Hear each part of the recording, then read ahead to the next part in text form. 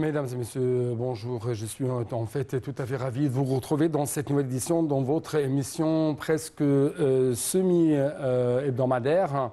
Euh, L'Égypte à l'une, votre fenêtre sur le monde égyptien, votre fenêtre sur les grands événements qui ont marqué la scène égyptienne durant les derniers jours. Justement, euh, aujourd'hui, nous allons consacrer cette édition principalement à un événement qui vient de prendre le devant de la scène égyptienne.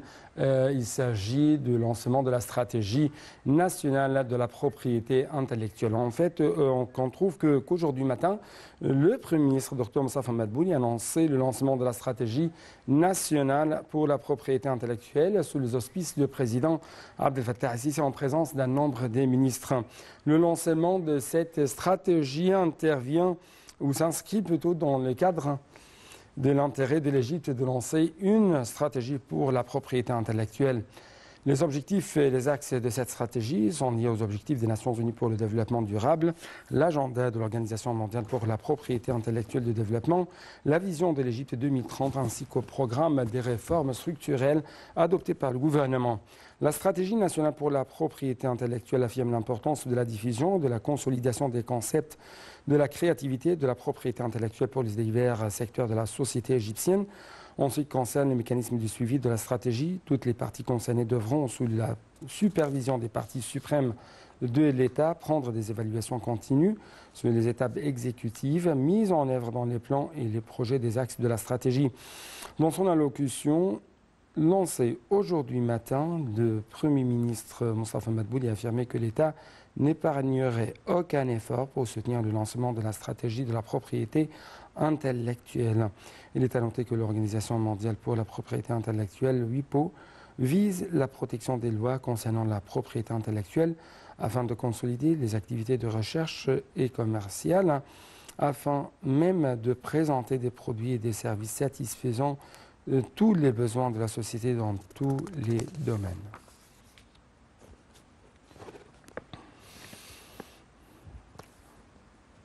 Dans son allocution, le ministre de l'Enseignement supérieur et de la Recherche scientifique, Ayman Achour, a annoncé que la propriété intellectuelle pourrait jouer un rôle efficace au développement global dans les divers secteurs pour réaliser le développement durable et la vision de l'Égypte 2030.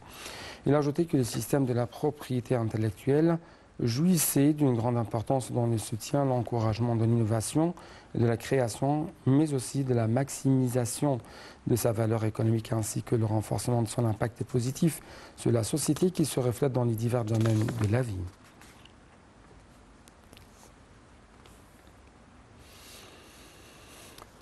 Le ministre de la Justice, le conseiller Omar Marwan, a pour sa part annoncé que l'Égypte s'est attachée à préserver les droits de la propriété intellectuelle dans tous les domaines.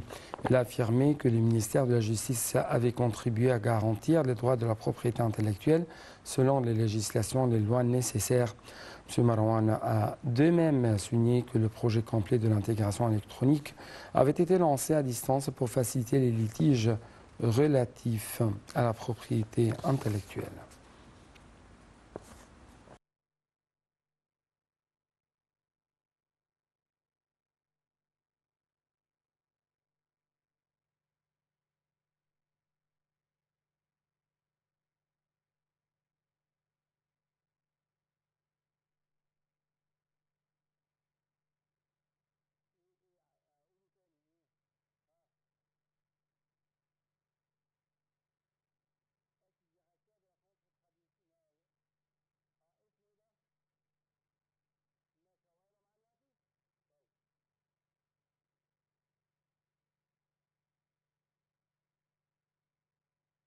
Donc euh, pour avoir plus euh, d'analyse, plus d'éclaircissement en ce qui concerne l'importance de lancement de cette stratégie nationale de la propriété intellectuelle, nous avons en ligne de l'Altv international M. Anwar Maurice, c'est l'ex-directeur centre, du centre de la traduction.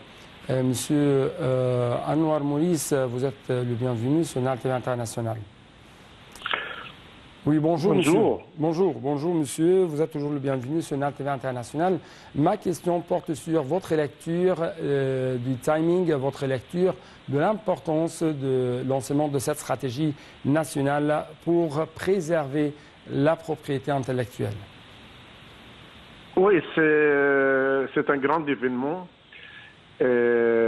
parce que la loi dans le domaine de la publication euh, commence à devenir euh, des règles internationales qui doit être respectée partout.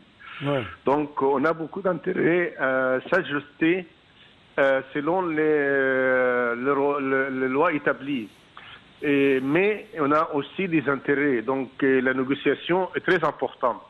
Donc cette rencontre et, c'est très bien que ce soit tenu par euh, le Premier ministre et le ministre de l'Éducation supérieure, parce que euh, euh, on, doit défendre nos droits et on doit aussi se régler selon les lois internationales. Hmm. Et ça, c'est avec une délibération à l'échelle internationale.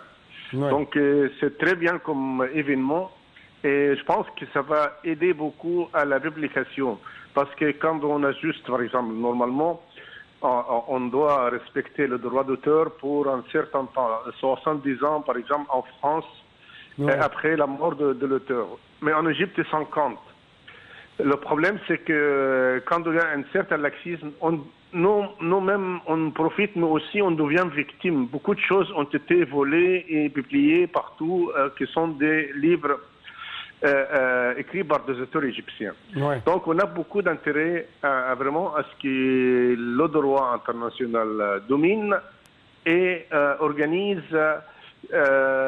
cette anarchie qui domine la publication à l'échelle internationale. Donc, d'après vous, ça va empêcher tout plagiat, va empêcher tout vol des droits intellectuels et ça, en même temps, va donner un peu plus d'espace pour la créativité, car il y a toujours une sorte de cadre qui préserve euh, les créateurs, qui préserve tous ceux euh, qui essayent toujours de faire une sorte d'innovation dans les différents domaines de la société égyptienne, n'est-ce pas? Exactement. Et en plus, euh, normalement, les gens qui sont forts, et ceux qui arrivent à obtenir facilement leurs droits.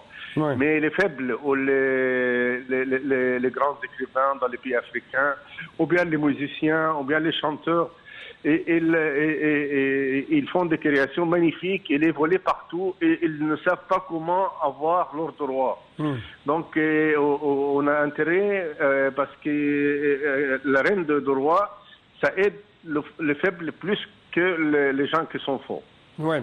à quel point vous trouvez que le fait d'avoir une sorte d'infrastructure sophistiquée, le fait de euh, de prendre des pas, des étapes très considérables vers la transformation numérique va ou vont plutôt aider à préserver euh, les, droits, euh, des, droits ou les droits de la, propriété intellectuelle, va, en même temps aider l'État, mais aussi les individus à réaliser ce but essentiel pour mais arriver à une sorte de, de, prospérité au sein de la société. Euh, exactement. Et euh, euh, en plus, la tâche n'est pas facile parce que pour le droit, la, la, propriété intellectuelle dans le domaine de publication des livres en papier, elle commence à être stable à, peu près. Mais par exemple sur l'Internet ou le, le cyberspace, et, là, c'est vraiment difficile. Il y, a, il y a beaucoup de piratage. Euh, dans le centre de la traduction, on publie un livre en papier, mais 12 jours après, on le trouve sur le net euh, volé, et, alors qu'on n'a pas beaucoup vendu. Donc ça, ça aussi, il a besoin, avec beaucoup d'ingénieurs et de techniciens, à développer le, le droit à l'échelle euh, de l'Internet. Oui. Euh, comment vous trouvez euh, l'importance toujours, ou dans, le cadre de la transformation numérique, euh, comment vous trouvez les nouvelles procédures adoptées par le ministère de la Justice égyptienne visant à faciliter les procédures concernant toujours les litiges autour des droits des propriétés intellectuelles? Oui, c'est une très bonne initiative de la part du ministère, mais il faut qu'il y ait quand même beaucoup d'institutions pour pouvoir euh, élaborer une loi qui satisfait mmh. tout le monde. Par exemple, on a besoin de parlement pour euh, légiférer de lois intéressantes. On a besoin de négocier avec les, le syndicat ou l'union des, éditeurs égyptiens, des éditeurs arabes. On a besoin de négocier avec les, maisons d'édition privées. Hmm. Et tout ça doit euh, faire euh, une harmonie pour que soit, tout le monde soit d'accord sur le loi, avec des consultations de, de chaque euh, partenaire. Oui. Euh, si euh, je vais vous poser une question sur l'impact de ça euh, au niveau économique, au niveau de la prospérité économique de la société, est, de, quel œil vous voyez l'importance de lancement de cette stratégie nationale de, la propriété intellectuelle à cet égard? Ah, C'est très important parce qu'on sait bien quand même que les conditions euh, matérielles et physiques euh, nous poussent à, avoir euh, un développement et différent de développement du XXe siècle. Hmm. On, ne doit pas beaucoup épuiser les sources naturelles dans la nature. On doit créer les valeurs, mais pas en, détruisant la nature. Ça a donné beaucoup d'importance à ce qu'on appelle les marchandises culturelles. La musique, euh, les chansons, les poèmes, les romans, c'est des choses qui ne consomment pas beaucoup de la nature, mais quand même, euh, on, peut gagner beaucoup d'argent. Et ça, ça donnait quand même euh, une, une pousse très très importante pour l'économie culturelle. Hmm et pour que l'économie pour, l'économie numérique même, l'économie euh, électronique, parce qu'on voit actuellement qu'il y a des applications numériques ou électroniques qui apportent beaucoup de, euh, de, fonds, qui, euh, qui ont de, de grandes... Tout à fait. Ouais, Exactement, mais, mais c'est pour que l'économie culturelle et informatique s'épanouissent, et il faut quand même que les lois soient euh, stables et reconnues par tout le monde.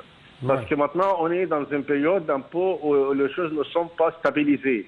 Hmm. Pour cela, euh, sur le net, on peut trouver quelqu'un pour faire euh, tout et n'importe quoi.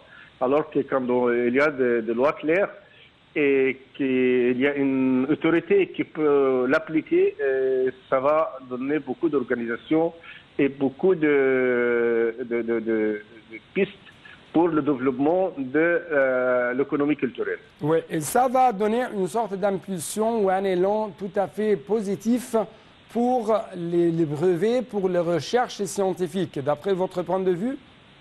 Exactement, et je pense que quand l'Égypte euh, fait un, effort euh, dans ce domaine, euh, ça montre quand même qu'on n'est pas euh, un pays des pirates. Au, contraire, mm. on a un pays qui a beaucoup d'intérêt à ce que vraiment le, droit international euh, soit respecté. Oui. Docteur Anwar Maurice, ex-directeur du Centre national de traduction, merci beaucoup pour de tels éclaircissements de votre part en ce qui concerne les différentes dimensions très importantes concernant le lancement euh, de euh, cette stratégie nationale des propriétés intellectuelles. Euh, de retour encore une fois aux allocutions prononcées aujourd'hui matin, matin, au cours de cet événement qui vient de prendre place ici en Égypte, le ministre de l'Approvisionnement et du Commerce intérieur, Dr Ali El-Mousselhi, a souligné que la stratégie de la propriété intellectuelle représentait le climat sécurisé pour la découverte, le développement durable et la transformation numérique pour tous les processus, surtout la quatrième révolution industrielle. M. Moussel a ajouté que la stratégie visait également à unifier un plan législatif pour soutenir toutes les organisations de la communauté civile, l'industrie le commerce, afin d'atteindre une société intégrée, notamment avec la coopération fructueuse de la part de l'Organisation mondiale de la propriété intellectuelle.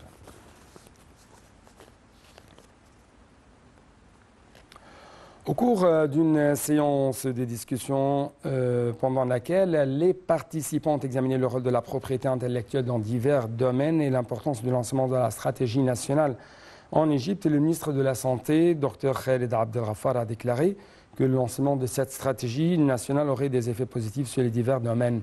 Il a également mis l'accent sur la nécessité de fournir les médicaments, de protéger les chercheurs dans le domaine sanitaire en adoptant des législatives pour protéger leurs recherches. Les participants ont affirmé au cours de cette séance l'importance du lancement de la stratégie de propriété intellectuelle, notamment à la lumière de l'enchèvrement des divers domaines de la propriété intellectuelle.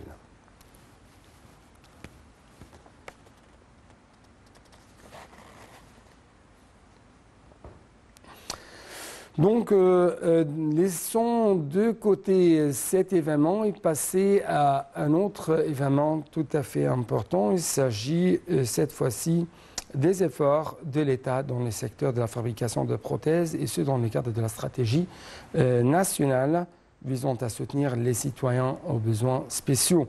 En fait, le président Abdel Fattah Sisi a enjoint d'établir un complexe industriel complet pour la fabrication de prothèses en coopération avec les grandes compagnies étrangères euh, qui ont de longues expériences dans ce domaine. Les explications tout de suite.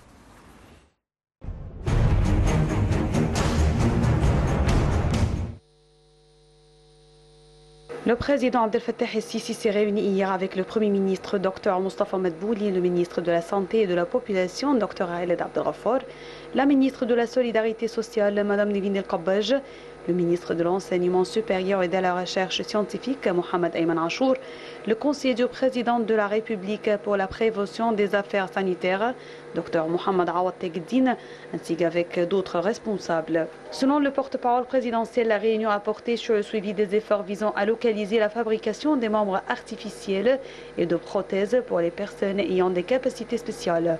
Le président Sisi a dirigé le début de la création d'un complexe industriel intégré pour localiser la production de membres artificiels et de dispositifs prothétiques pour les personnes ayant des capacités spéciales en coopération avec des entreprises étrangères bien connues dans ce domaine. De même, le chef de l'État a exigé de bien préparer les services d'État pour être capable de servir ceux qui ont des besoins spéciaux selon les codes internationaux à cet égard.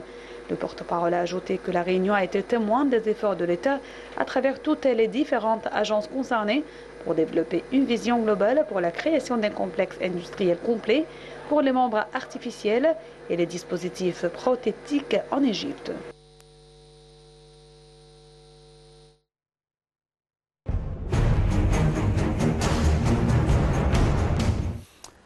Enfin, en marge des travaux de la 77e session de l'Assemblée générale de l'ONU, le ministre des Affaires étrangères, Samar Chokri, a participé au nom du président Abdel Fattah ici à un dîner d'affaires invité par le président français Emmanuel Macron. Chokri a également prononcé une allocution à l'Assemblée générale sur les crises mondiales. Il a de même tenu une série d'entretiens à New York. Ça, Marab, les explications.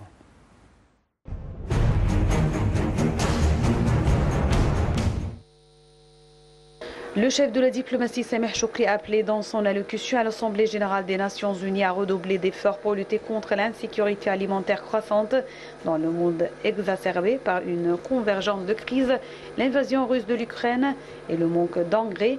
Il a également mis l'accent sur la nécessité d'appeler les institutions financières internationales et les banques de développement régionales de jouer un rôle clé en aidant les pays sous tension économique et sociale, en fournissant des financements et alléger la dette. Plus tôt dans la journée, Chokri a tenu une réunion ministérielle dans le cadre du mécanisme de coopération tripartite avec la participation des ministres des Affaires étrangères grecs et chypriotes. Les ministres ont examiné les évolutions des questions régionales d'intérêt commun, notamment à l'est et au sud de la Méditerranée, en outre la crise libyenne. Ils se sont convenus à renforcer la coordination étroite des positions de diverses instances internationales et régionales.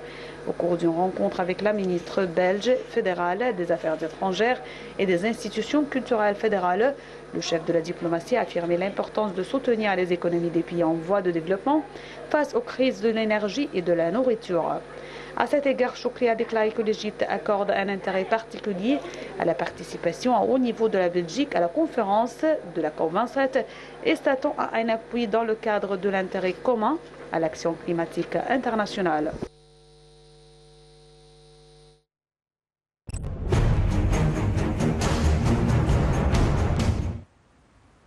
Fin donc de cette édition. Merci beaucoup pour votre attention et à la prochaine.